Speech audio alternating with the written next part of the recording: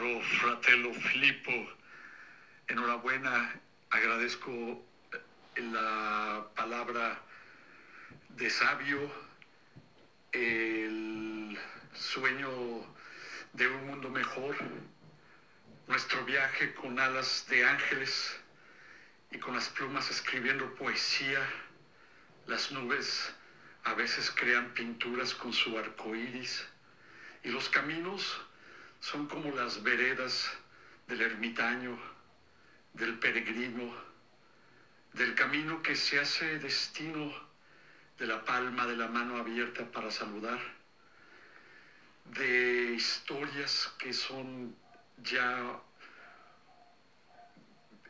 bellezas míticas vivientes como mausoleos que mueren y no mueren, que dentro de la cápsula de esa memoria está aquel ser que fuimos como faraones enterrados para regresar de un pasado, para soñar con un futuro, para seguir viviendo este presente incandescente como cometas encendiendo una cauda que sea la antorcha que guía a la libertad, a poder volver a esa etapa de la pureza del alma, de la infancia, de los sueños, de esa juventud vehemente, temeraria, agradecida y también con fuego.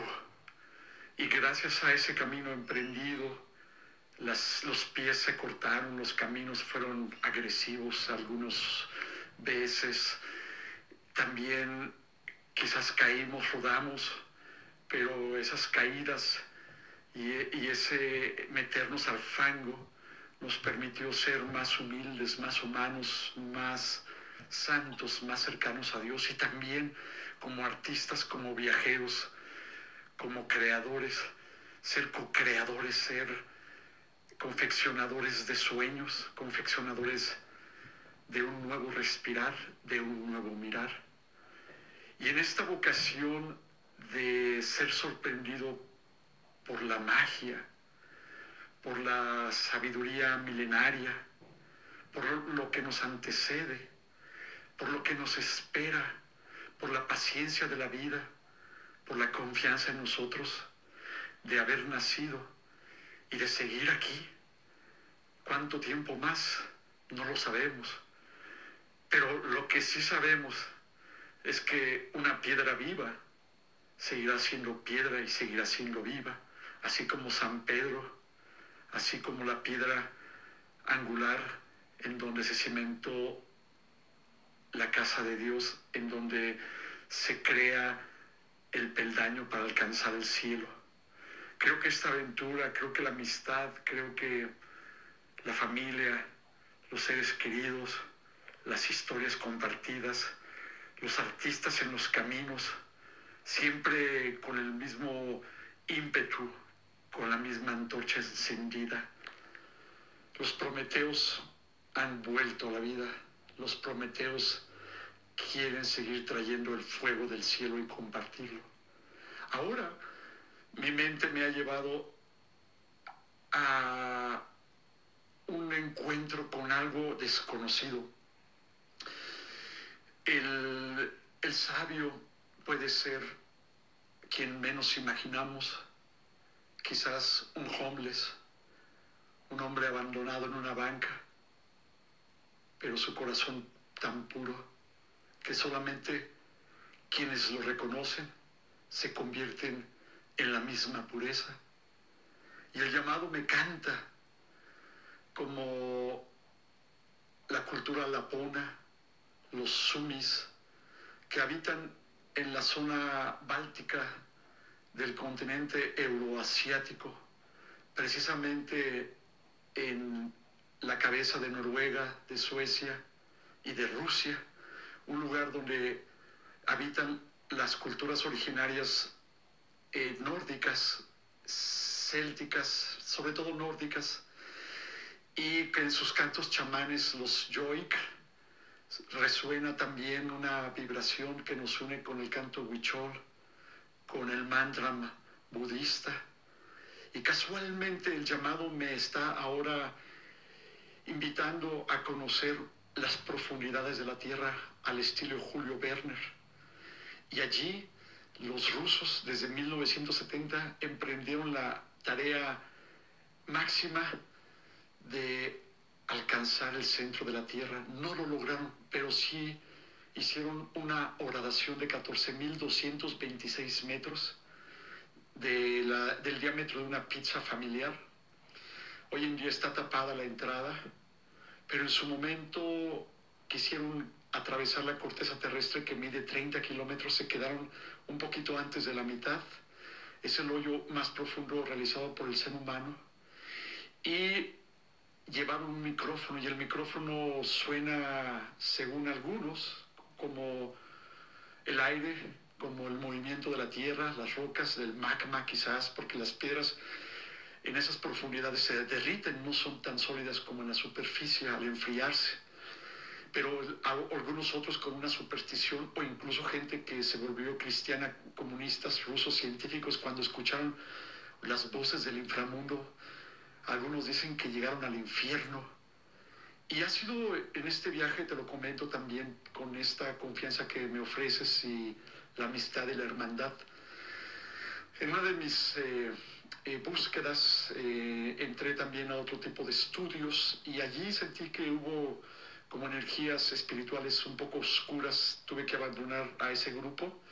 Los gnósticos, no te lo recomiendo, pero si un día topas con algunos, son buenas personas, en fin. Y tengo un tío que está con Dios, que es sacerdote y fue sacerdote, y me hizo un exorcismo, hermano. Me sacó siete espíritus demoníacos, una cosa que, que creo que cuando fui con, a la ceremonia del Neira me puse a prueba, todo mi espíritu, mi alma se puso a prueba con el miedo. Entender qué es el miedo y no tenerle miedo al miedo. ¿Cómo se hace eso? Con honestidad, con la humildad, sabiendo que no podemos hacer nada, no vale la pena huir, simplemente enfrentar el reto. Y una vez atravesado el duelo, la fuerza, la, energía espiritual tan poderosa, uno toma esta lección que es tener, el, ser, tener un temple a prueba de miedos y de fuegos. Estaba con mi tío, hizo el exorcismo, después lo comenté, me confesó que así fue. Hermano, una cosa terrible, terrible, con ganas de enloquecer, de llorar, de gritar, de correr.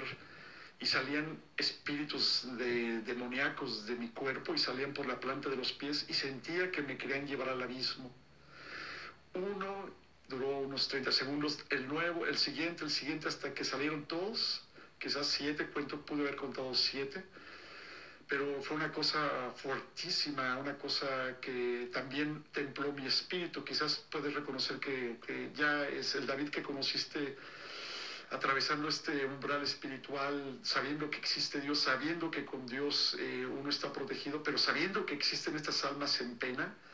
Y ahora este, este lugar en la península de Kola con cada kilo, con este orificio que dicen que encontraron el infierno, con la guerra que está manejando Putin, que lo hizo en una fecha cercana al 22 del 2 del 2022, y la guerra inició el, 24. Dicen que Putin, que fue un espía de la KGB en Alemania, Alemania como Hitler, buscando la sabiduría de, de los arios, que precisamente en el norte de India y el Tíbet.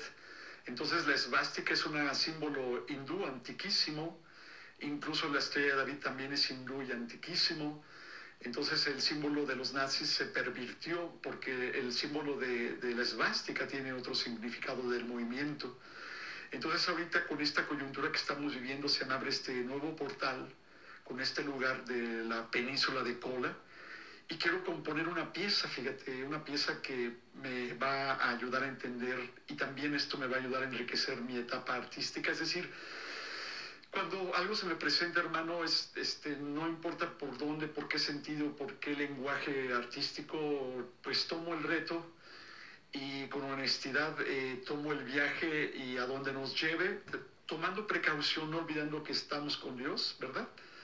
Y esto pues está como en este viaje que Carl Jung, que es el contemporáneo de Sigmund Freud, Sigmund Freud hizo el psicoanálisis, Carl Jung estudió más los arquetipos como esta, dicen que tenía poderes de chamán, o sea, eh, la ciencia ha negado la existencia de los poderes mágicos de los chamanes, de las otras dimensiones, y por ejemplo Jacobo Greenberg pues también me ha llegado, me ha visitado, y me ha permitido también rebasar estos umbrales espirituales de, de, de, lo que es una dimensión alternativa que no vemos, pero sí existe, que los chamanes sí conocen, que los artistas como nosotros también podemos paladear.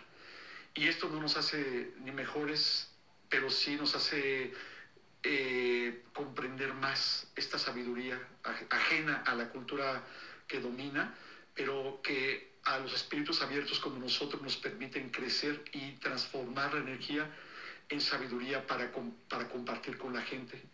Y estas palabras, tu voz también con una, eh, una gran estoicismo, con una columna de fuego que, que se escucha solidaria, y lo aprecio mucho la voz sonora, como, como el tambor, como el viento, el eco como el sonido del espacio que llega al corazón.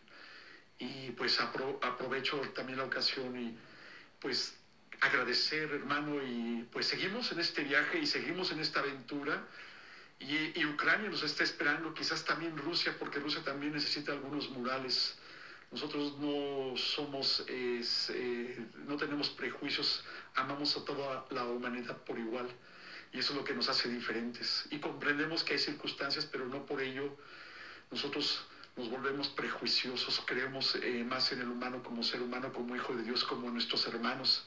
Y cuando uno se hermana, se rompe el ego y se hace la unidad, se hace otra vez la divinidad en toda esta gran experiencia de vida. Hermano, pues luego te comparto esto que estoy explorando, el, el este, la península de Kola, el, el hoyo más profundo que llegó a un hueco.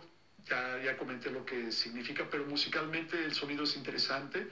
Y ahora con la composición que hice de violín también fue otro viaje, hermano. Y la gente le está gustando, lleva ya en pocos días, lleva casi 700 visitas y 21 likes, lo cual es muy raro que pase con mi música, te soy franco, porque a veces la música es muy exigente, pero es interesante cómo cuando uno está trabajando con honestidad también hay espíritus que son sensibles a nuestras búsquedas y esto pues también permite como vasos comunicantes eh, poder legar todo este conocimiento porque somos herederos de, de Kandinsky, de los grandes maestros de la plástica latinoamericana, pero también de la europea y hay como esta fuerza congénita cuando vi tu rostro en esta película turca también, tus orígenes del Medio Oriente, eh, seguramente también semíticos, o si no también, este, porque los, los, los eh, musulmanes también son pueblos semitas, o sea, son primos de los judíos.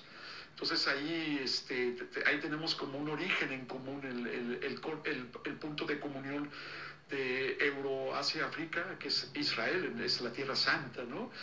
Casualmente ahí nace Jesús, entonces, este, y nosotros en estos eh, lugares, cuando reconocemos la fuerza de los lugares, hay lugares que tienen portales, a donde estamos nosotros se hace un portal porque podemos crear estas pinturas que invitan a otra dimensión. Pero también a veces el portal está en la naturaleza y es bellísimo reconocerse, identificarse con esta sabiduría que nos rebasa, que es infinita, que es universal, que a veces las palabras no alcanzan, la música tampoco es, es ni siquiera una caricia del viento espacial, del polvo de estrellas que somos. Y por eso cuando uno eh, maneja esta idea del arte galáctico, es decir, tenemos que eh, atrevernos a ser viajeros del tiempo y del espacio sin fronteras, eh, ser multidimensionales, ser realmente todo y nada, ser el universo palpitante que ahora se ha concentrado en nosotros pero no perdernos en el espejo de la vanidad y del ego y de la fama y del dinero y del poder, sino trascender como realmente una santidad como San Francisco de Asís, que era uno de los hombres más ricos en Italia y, todo lo dejó para acercarse a la verdadera, al verdadero evangelio de Jesús, que es la pobreza, el voto de pobreza, y el voto de pobreza, pobreza con humildad, y solamente así surge el verdadero arte. Hermano, aprecio mucho tus palabras eh, entrañables, las atesoro en mi corazón. Gracias, hermano, lo mejor. Bendiciones, saludos a todos y, y que Dios esté con nosotros, que siempre nos cuide y nos guíe con el Espíritu Santo, hermano. Lo mejor. Chao. Caro fratello Filippo.